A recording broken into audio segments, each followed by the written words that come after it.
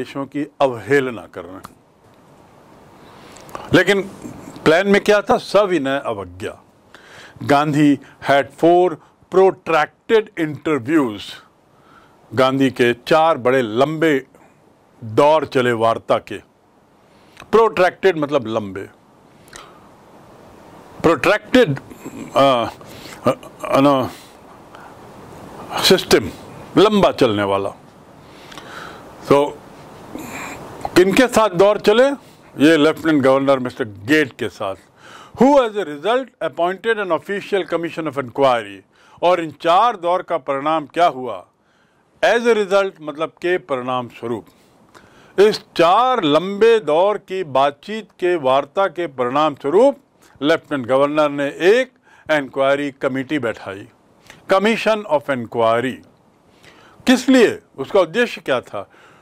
Into the indigo cropper situation indigo नील की खेती करने वालों की जो स्थिति थी, उसको लेकर एक समिति बनाई। उनकी समस्याओं का अध्ययन करने के लिए।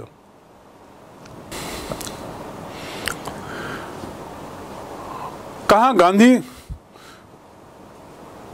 एक योजना बना के गए थे कि यदि मैं गिरफ़्तार हुआ तो ऐसे सविनय अवज्ञा करना और कहा दूसरी ओर परिणाम कुछ और दिखा। लंबी वार्ताओं के परिणाम स्वरूप लेफ्टिनेंट गवर्नर राज़ी हो गए एक समिति बनाने के लिए। Who would look into their situation there means sharecropper जो इंडिगो शेयर क्रॉपर थे, नील की खेती करने वाले जो किसान थे, उनकी स्थिति का अध्ययन करेगी। सिचुएशन माने स्थिति। उनकी माली हालत के बारे में जानकारी लेगी। समस्याओं के बारे में जानकारी लेगी, उसके निराकरण का रास्ता देखेगी आदि आदि। The commission consisted of landlords to consist of मतलब शामिल होना। कंसिस्ट ऑफ़ मतलब शामिल होना। होना, हिस्सा होना। The trip consist of the picnic consist of ten student two teachers and a principal ये जो पिकनिक है, इसमें दस विद्यार्थी हैं, दो शिक्षक हैं और प्रिंसिपल हैं। तो to consist of my bag consist of these items मेरे बैग में ये ये चीज़ें शामिल हैं। तो यहाँ पर the committee consisted of landlords किसान गवर्नमेंट ऑफिशियल्स एंड गांधी उसमें कुछ जमींदार थे, कुछ सरकारी अधिकारी थे और अकेले गांधी जो शेयर क्रॉपर्स के एकमात्र प्रतिनिधि थे। सोल माने एकमात्र S O L E sole. Sole माने जूते का सोल भी होता है, जिसे नीचे, जूते के नीचे लगा रहता है। और एक होता है S O U L soul. Soul माने आत्मा। तो यहाँ पर सोल मतलब क्या होता है? एकमात्र। एकमात्र प्रतिनिधि के रूप में किसानों के गांधी भी उस कमेटी में थे। Gandhi remained in Champaran for an initial uninterrupted period of seven months to remain मने होना, जैसा मैंने पहले बताया। अनइंटरप्टेड मने निर्बाध, बिना किसी ब्रेक के। लगातार। There is an uninterrupted rain in Raipur for the last seven days गत सात दिनों से निर्बाध गति से बिना रुके लगातार बारिश हो रही है। अनइंटरप्टेड टू इंटरप्ट मतलब बाधा पहुंचाना. Don't interrupt in my issue मेरे मामले में बाधा मत पहुंचाओ. तो यहाँ पे uninterrupted period of seven month बिना किसी ब्रेक के, व्यवधान के, खलल के, गांधी सात माह रह गए चंपारण में. And again for several shorter visits और उसके बाद कई छोटी छोटी यात्राएँ अलग से की उन्होंने. And again for several several मैंने मैनी मैनी शॉर्टर विज़िट एक एक, दो दो दिन की यात्राएँ बहुत बार की चंपारण उन्होंने। ये क्यों हुआ होगा? वो जो इंक्वायरी कमेटी बैठी थी, उसकी जाँच जो चल रही थी, उसमें सहयोग देने के लिए गांधी का नाम था। और गांधी तो किसानों के प्रतिनिधि के रूप में थे तो बहुत महत्वपूर्ण थे वो। सात माह और उसके ऊपर से और बहुत बार चंपारण की उन्होंने यात्रा की। द विज़िट अंडरटेकन कैजुअली ये वो यात्रा थी जो चलते फिरते में ले ली गई थी। कैजुअली हल्के में ली गई थी। Don't be casual be serious हल्का फुल्का मत लो, थोड़ा गहरे बनो बी सीरियस तो गांधी ने तो चंपारण जाने की बात बड़ी कैजुअली मानी थी। On the entreaty of an unlettered peasant entreaty मतलब अनुरोध विनम्र अनुरोध। बहुत जो बहुत आ, बहुत उसके साथ जो अनुरोध करते हैं उसे एंट्रीटी कहते हैं। बहुत तीव्र अनुरोध वो एंट्रीटी कहलाता है। Entreaty of an unlettered peasant एक अशिक्षित किसान के बारंबार अनुरोध पर तो गांधी गए थे वहाँ। वो अशिक्षित किसान कौन था? याद है आपको? राजकुमार शुक्ला, जिसका नाम पूर्व में आया है। In the expectation that it would last a few days expectation मतलब उम्मीद। लास्ट मतलब आखिरी नहीं। टू लास्ट मतलब तक रहना। I have money it will last for अंदर थ्री मंथ मेरे पास इतना पैसा है कि अगला तीन माह चल जाएगा। पापा don't worry I have the stock of rice and wheat it will last for अंदर फोर मंथ मेरे पास चावल और गेहूँ का स्टॉक है, जो अगले चार माह तक चलेगा। चिंता नहीं करो। टू लास्ट फॉर मतलब इतने दिन चलना। केवल लास्ट मतलब आखिरी। And last for to last for मतलब चलना इतने दिन। पैदल नहीं चलना। उतने दिन तक के लिए होना। द विज़िट अंडरटेकन कैजुअली बड़ी सहजता से लिया था गांधी ने इस यात्रा को, जब वो अशिक्षित राजकुमार शुक्ला उनके पास आया था। इस उम्मीद में कि it would last for a few days कि कुछ दिन की बात है। But it occupied almost a year of Gandhi life लेकिन ऑक्यूपाई होना मतलब व्यस्त रखना। लेकिन उसने गांधी के एक वर्ष ले लिए। गांधी ऑक्यूपेशन मतलब धंधा ऑक्यूपेंसी मतलब कितनी कैपेसिटी है। धंधा ऑक्यूपेशन टू ऑक्यूपाई मीन्स जगह लेना। The thought of my parents illness has occupied my mind मेरे पेरेंट्स की बीमारी ने मेरा दिमाग ले लिया है, मेरे दिमाग में जगह ले ली, अर्थात मैं सोच रहा हूँ। उनके बारे में सोच रहा हूँ, उनकी बीमारी के बारे में सोच रहा हूँ। तो here it would last a few days Gandhi thought Gandhi को लगा कि कुछ दिन होगा, ये बार बार बेचारा शुक्ला बोल रहा है, और मेरे साथ साथ सब जगह गया है। इस उम्मीद में कि मैं उसको हाँ बोलूँगा, चलो चलता हूँ। कुछ दिन का मामला है, वापस आ जाऊँगा। लेकिन लुई फिशर कहते हैं it occupied almost a year of Gandhi life वहाँ तो लगभग 12 माह लग गए। द ऑफिशियल इंक्वायरी जो कमीशन बना था, assembled a crushing mountain of evidences against the big planters. Assemble करना मतलब इकट्ठा करना, उसी से बना असेंबली जो इंक्वायरी कमेटी थी उसने माउंटेन ऑफ़ एविडेंस इकट्ठा किया। एविडेंस मतलब? उदाहरण। माउंटेन उदाहरणों का पहाड़। एविडेंस मतलब उदाहरण नहीं एविडेंस का मतलब होता है आम, क्या बोलेंगे यार? साक्ष साक्ष्य। एविडेंस का मतलब होता है साक्ष तो उन्होंने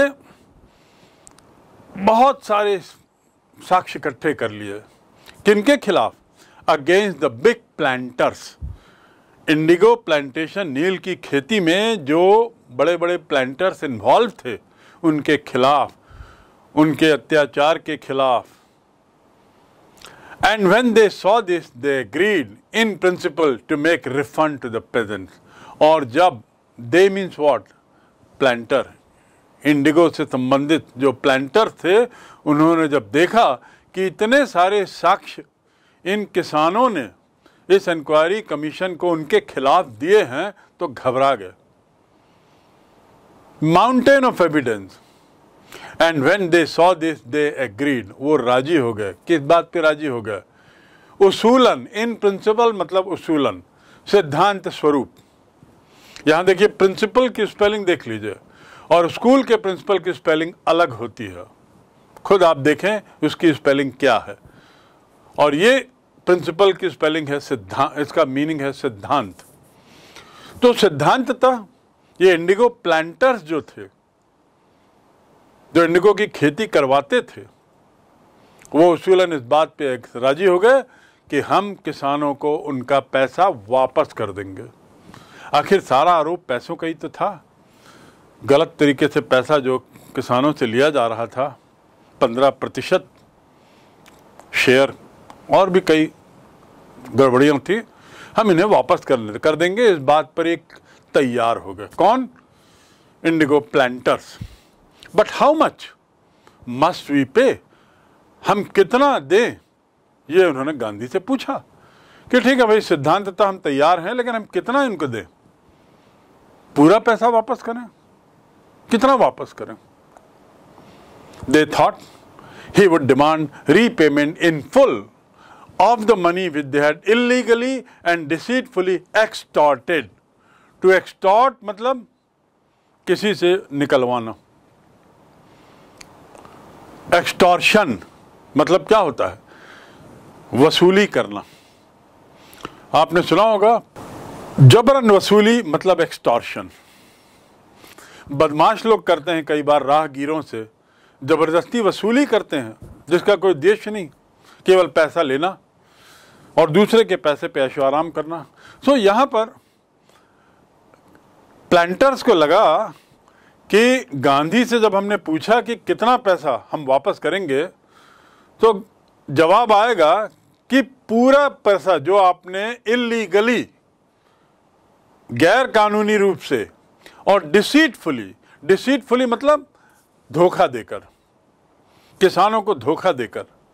इसमें कई तरह के धोखे थे जिसका ज़िक्र मैं नहीं करता, पर आज भी कई बार आप गाँव में पाओगे कि किसानों के साथ बड़े धोखे करते हुए जमींदार लोग आज भी पैसा उगालते हैं।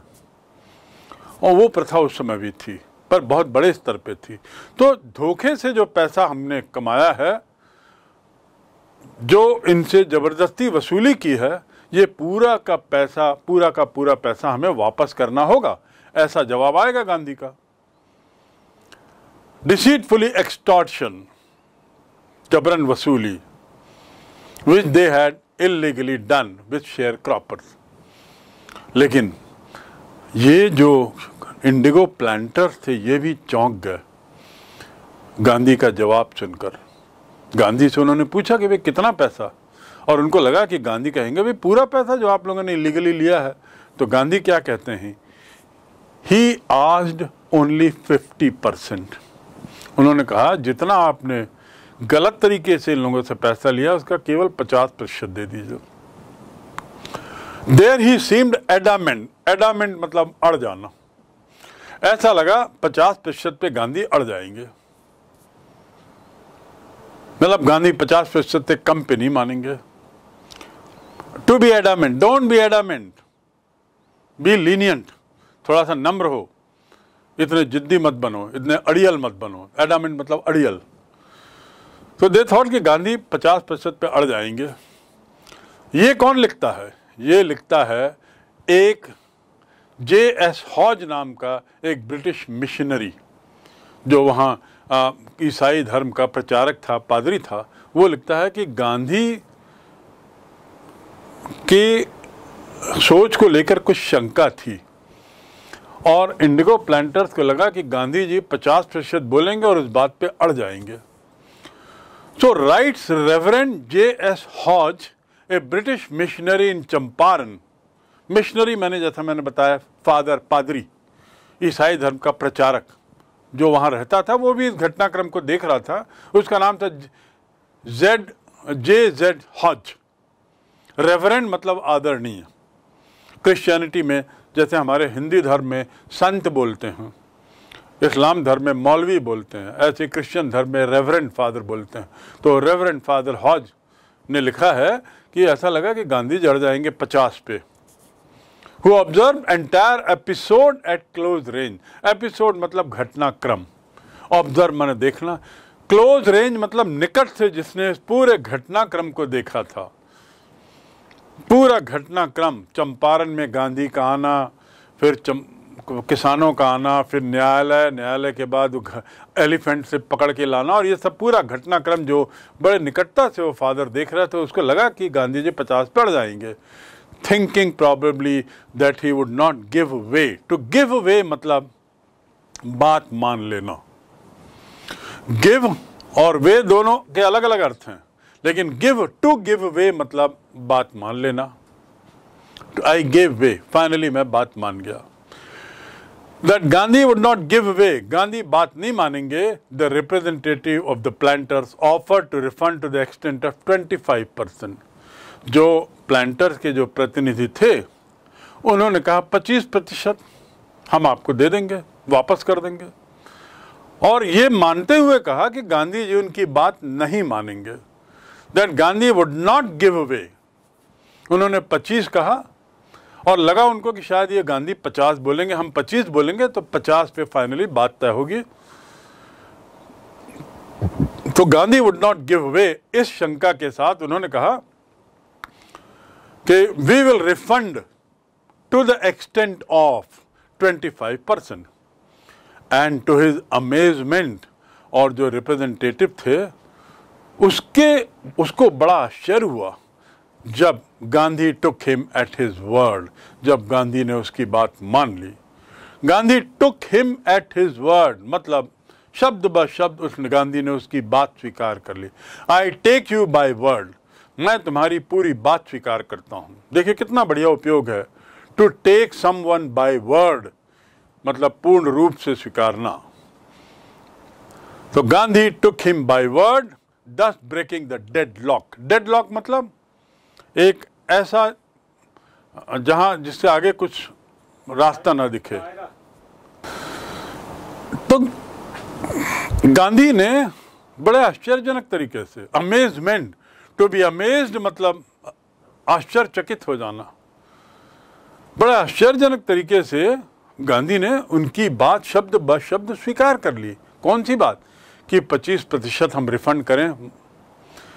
वो तो ये सोच के गए थे, हम 25 बोलेंगे, गांधी 50 मानेंगे और 50 पे अड़ जाएँगे। यहाँ गांधी ने एक बार में उनकी बात, उनका अनुरोध स्वीकार किया और बोले, ठीक है 25 प्रतिशत दे दो। अब आपको लग रहा होगा, ये क्यों हुआ ऐसा? गांधी क्यों इस बात मान मान गए? और वो भी पच्चीस प्रतिशत इतना बड़ा आंदोलन किया, पूरा पैसा लेना था। गलत पैसा तो पूरा पैसा दें, लेकिन इसके पीछे भी गांधी की एक मानस, एक सोच थी। ऐसी ही सोच ने उन्हें किसानों का मसीहा बनाया, ऐसी ही सोच ने उन्हें वकीलों का मसीहा बनाया, ऐसी ही सोच ने उन्हें अंग्रेज़ों के खिलाफ चंपारण में विजयी दिलाई और ऐसी ही सोच ने अब यहाँ पर जमींदारों को भी उनके पक्ष में कर दिया। अगले दिन के न्यायालय में पोष पेश होने के आदेश मिलने के बाद गांधी रात भर जगे रहे। टू रिमेन मने रहना। अवेक मतलब जगे रहना I remained awake I am awake मतलब मैं जगा हूँ। ही रिमेन्ड स्लीपिंग वह सोते रहा। बॉस के आने के बाद भी वह बैठे रहा। Even after the arrival of boss he remained sitting तो रिमेन मतलब रहा। और रिमेन का अर्थ और क्या होता है?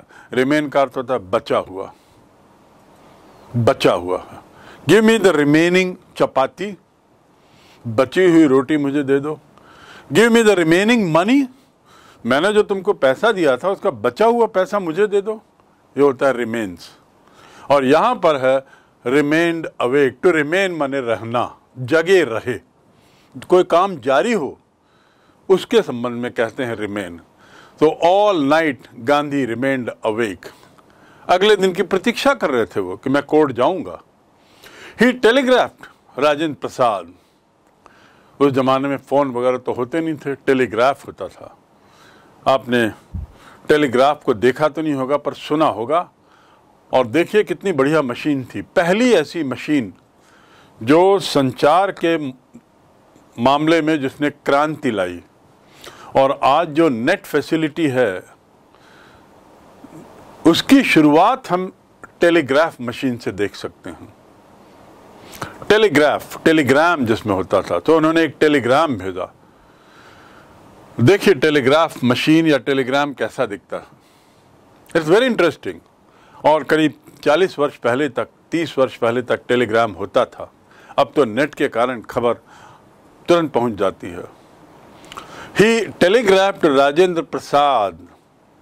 कौन राजेंद्र प्रसाद? वही जो पटना में थे। डॉक्टर राजेंद्र प्रसाद, वही जो बाद में राष्ट्रपति बने और एक प्रसिद्ध वकील थे, प्रसिद्ध एक होशियार विद्यार्थी थे। तो उन्होंने राजेंद्र प्रसाद को टेलीग्राम किया to come from Bihar with influential friends influential मतलब प्रभावशाली। इन्फ्लुएंस मैंने प्रभाव। You have great influence on your students the teacher mister so and so has great influence on his student फला नाम के शिक्षक का अपने विद्यार्थियों पर बहुत प्रभाव है। Mahatma Gandhi had great influence on the public Gandhi का बहुत प्रभाव था। तो यहाँ पर राजेंद्र प्रसाद को अनुरोध किया जाता है गांधी के द्वारा टेलीग्राम के माध्यम से कि अपने प्रभावशाली साथियों के साथ बिहार से आओ। पूरे बिहार से लेके आओ। He sent instructions to the ashram और उन्होंने आश्रम को भी कुछ खबर भेज दी। कौन से आश्रम को? साबरमती और वर्धा। और ऐसे ही वो जहाँ मोतिहारी में रुके थे, वहाँ भी उन्होंने खबर कर दी। कुछ खबर से ज़्यादा उन्होंने कुछ हिदायतें भेजी। इंस्ट्रक्शंस क्या करना है, क्या नहीं करना है, वो लिख के भेज दिया टेलीग्राम में। He wired a full report to the viceroy मुझे टेलीग्राम करने की जो क्रिया है उसको वायर कहते हैं। I have wired the message आज हम क्या बोलते हैं? I have send the message वो नेट से हम भेजते हैं। उस समय वायरलेस कहते थे उसको। टेलीग्राम का जो सिस्टम था वो वायरलेस सिस्टम कहलाता था। पहला ऐसा कम्युनिकेशन का सिस्टम जो बे, बेतार था बिना तार का था।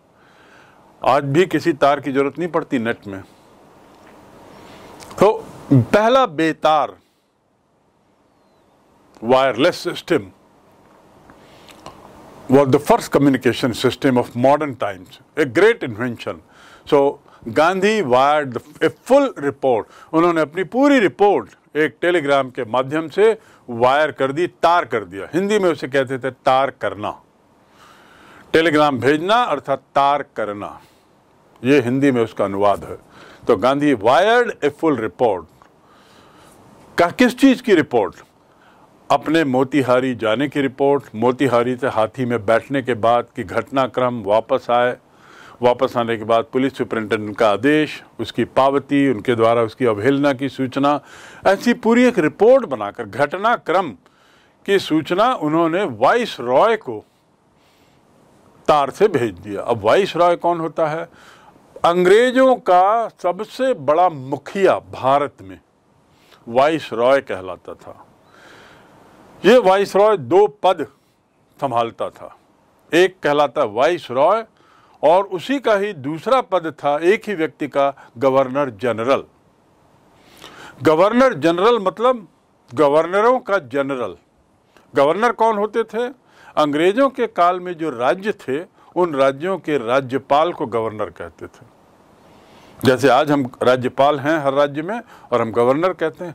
ऐसे ही in the time British time there use to be states each state had its own governor the head of the governors was called governor general the same man who was governor general was also the viceroy now what is the meaning of the word viceroy vice to the royal royal means British king और queen who was the head of all British Empire. And vice माने assistant, vice principal, vice captain, vice uh, vice means assistant, number two. So he was number two to the king in India and he was the same person who was head of all the Rajyapals or governors in India. One and the same man. Imagine so powerful man he must have been. To this and he would live in Delhi, the capital of India. Viceroy was based in Delhi. He represented king in India. and he represented all the governors of India in Delhi. He was sent a wire by Gandhi. Full report. Morning found the town of Motihari black with peasants. सुबह हुई अगली सुबह जिस दिन गांधी को न्यायालय जाना था देखा गया फाउंड द टाउन शहर में पाया गया क्या कि मोतीहारी पूरे काला हो गया है किसानों से? अब किसानों से काला हो गया है का मतलब? इतनी भीड़ इतनी भीड़ कि यदि हम हेलीकॉप्टर से या आ, आजकल जो आता है जिससे हम फोटोग्राफ लेते हैं तो यदि ड्रोन जैसी चीज़ से ऊपर से देखा जाए फोटोग्राफी की जाए तो पूरा शहर किसानों से भरा हुआ था और उनके काले बाल मानो पूरे शहर को काला कर रहे थे आप सोच सकते हैं कितनी भी you can imagine how much crowd must have been there and why did they come because they learn that Gandhi is going to the court. They did not know Gandhi's record in South Africa. They did not know इन किसानों को जो भारी संख्या में आए थे, उन्होंने उनको गांधी के बारे में कुछ नहीं पता था कि साउथ अफ्रीका में उन्होंने क्या किया। ये तो बेचारे अशिक्षित किसान थे, अनपढ़ किसान थे, पूरे समय खेत में ही व्यस्त रहते थे, पूरे समय इन अपने ज़मींदारों से मालिक की जी हुजूरी करने, उनकी सेवा करने और उनके विरोध करने में व्यस्त रहते थे। दूर दराज के गाँव में रहते थे, वहाँ कौन जानेगा गांधी को? लेकिन हाँ उनको गांधी के साउथ अफ्रीका के उनके जो आ, कारनामे थे साउथ अफ्रीका में अंग्रेज़ों के खिलाफ जो भी गांधी ने आवाज़ उठाई थी और जो आंदोलन किए थे उसकी तो उनको कोई जानकारी नहीं थी। लेकिन हाँ उन्होंने ये ज़रूर सुना था they merely heard that a Mahatma who wanted to help them was in trouble with authorities a Mahatma देखिए, गांधी को लुई फिशर 1915 की घटना में महात्मा के रूप में संबोधित कर रहे हैं। और लुई फिशर ने भी जब लिखा है ये किताब, ये बायोग्राफी तो उसने सुनिश्चित किया होगा कि उस समय महात्मा बोला जाता था कि नहीं, और तब उसने लिखा है। तो Gandhi had become Mahatma in just when he arrived in India Mahatma. Gandhi was no small man remember तो किसानों को गांधी के साउथ अफ्रीका में जो उन्होंने किया था कारनामे, उसकी कोई जानकारी नहीं थी। वो अनपढ़ थे, अशिक्षित थे, लेकिन उनको इतना ज़रूर मार। दे हैड मियरली हर्ड उन्होंने इतना ज़रूर सुना था। मियरली हर्ड केवल सुना था। मियरली मतलब केवल। थोड़ा। I got merely twenty rupees मुझे केवल दस रुपए मिले, बीस रुपए मिले। He merely said that I am going उसने केवल यही कहा। केवल मतलब थोड़ा केवल मैंने आई मीन मियरली मतलब थोड़ा मियरली मतलब कम। केवल। सो so, उन्होंने केवल इतना ही सुना था कि एक महात्मा कोई है जो हम लोगों की मदद करना चाहता है हु वांटेड टू हेल्प वो थोड़ी परेशानी में है अथॉरिटीज के साथ। अथॉरिटीज मतलब ब्रिटिश सत्ता।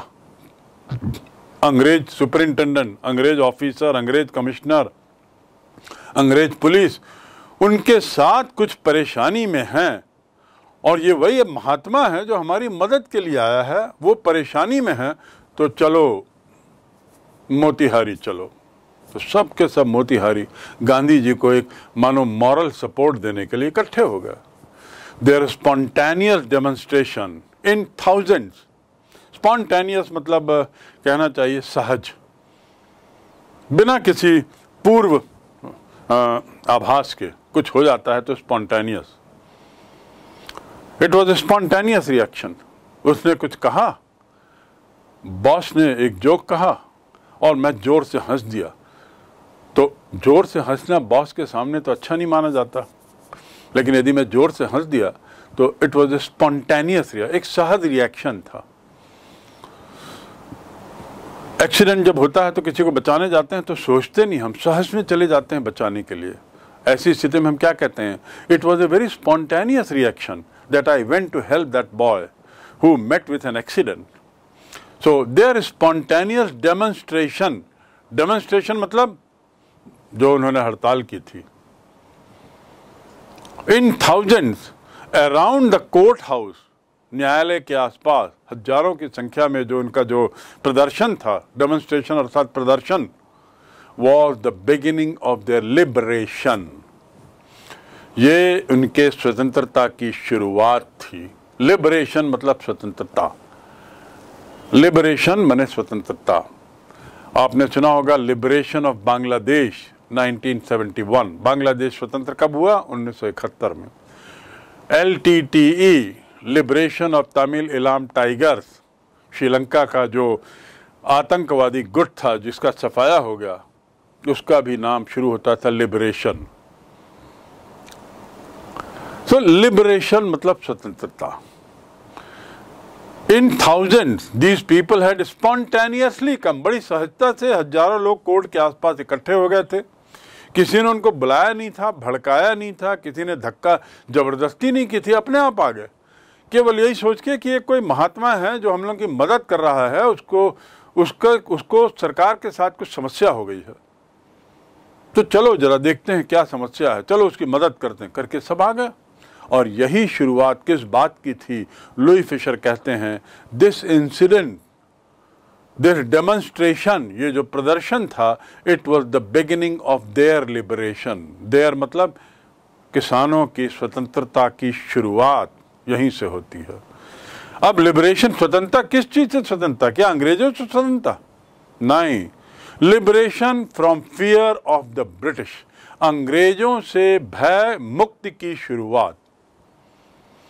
ये जो घटना है, ये एक बहुत बड़ा टर्निंग पॉइंट था। बहुत बड़ी ऐतिहासिक घटना है, क्योंकि यहाँ से शुरू होती है भारतीय किसानों की अंग्रेज़ों से भय मुक्त होने की शुरुआत। और आपको मैंने पूर्व में बताया था कि गांधी लगातार फियर डर को हटाने की बात करते थे। डर किस बात का? निडर रहो, डरो नहीं। गलती की नहीं की हो तो डर क्यों रहो? और डरने वाले लोग वही होते हैं जो या तो कायर हैं, गलती किए हुए हैं अपराध किए हुए हैं, वही डरपोक हैं, जो हमने नहीं किया है। इस घटना से एक बदलाव आता है भारतीय स्वतंत्रता आंदोलन में।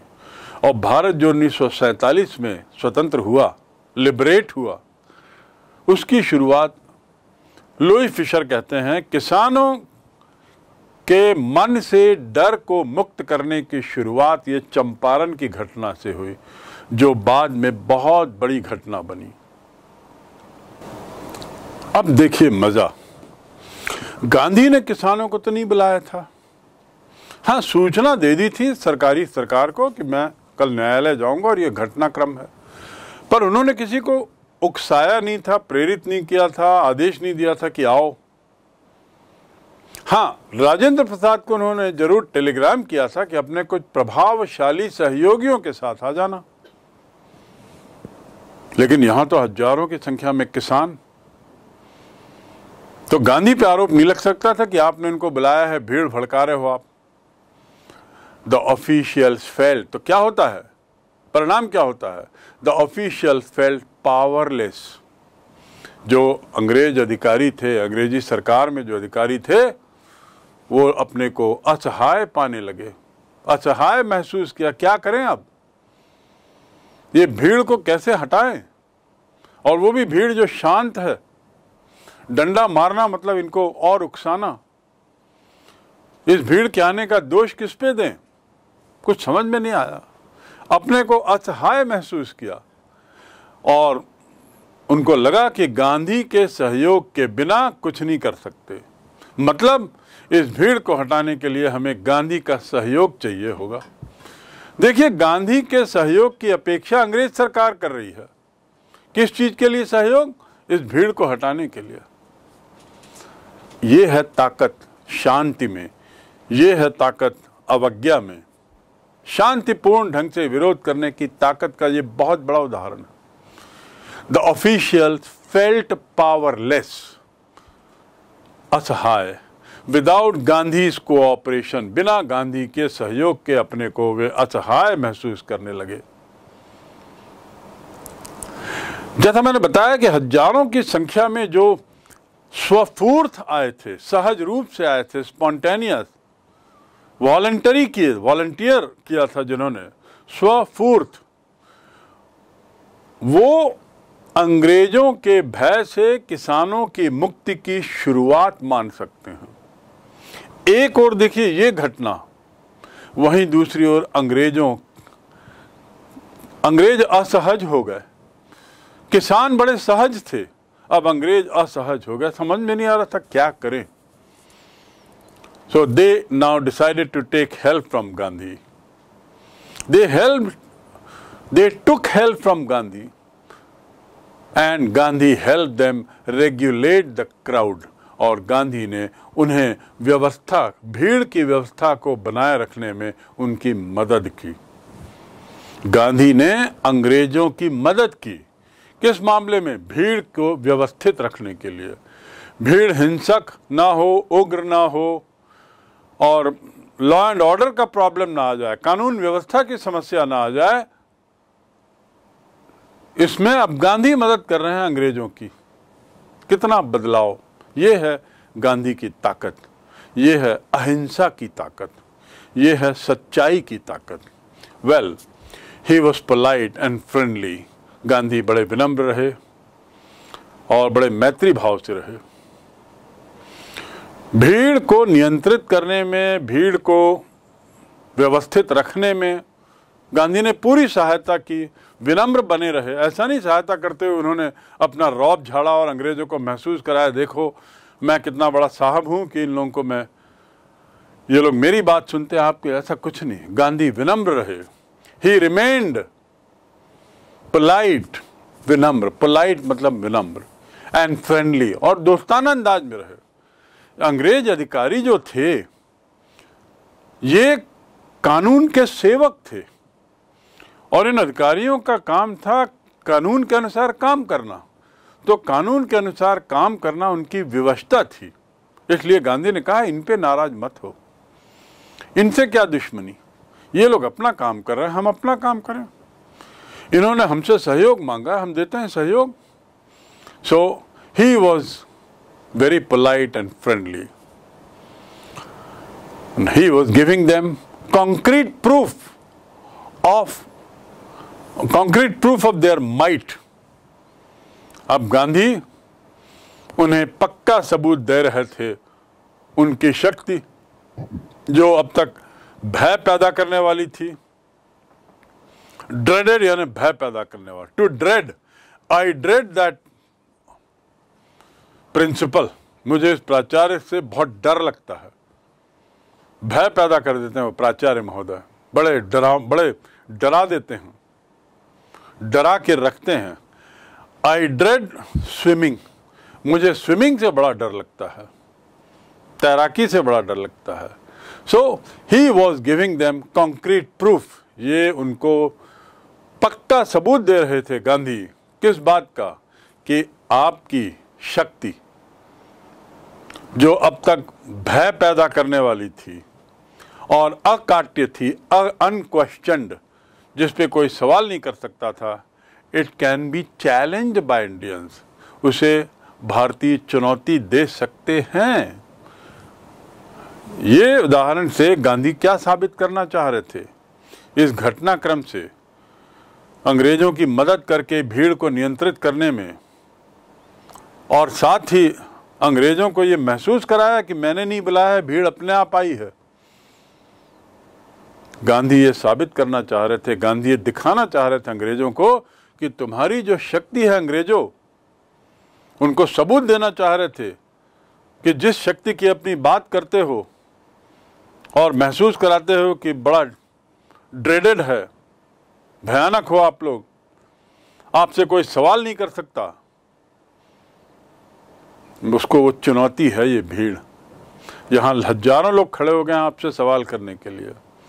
आपकी शक्ति कहाँ गई? इनको आप कुछ नहीं कर पा रहे हो। इनडायरेक्टली मन ही मन गांधी यही मैसेज अंग्रेज़ों को देना चाह रहे थे कि आप ये ना समझें।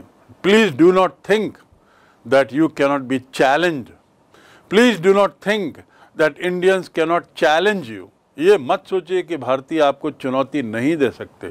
इस गलत फहमी में मत रहना मेरे मित्र।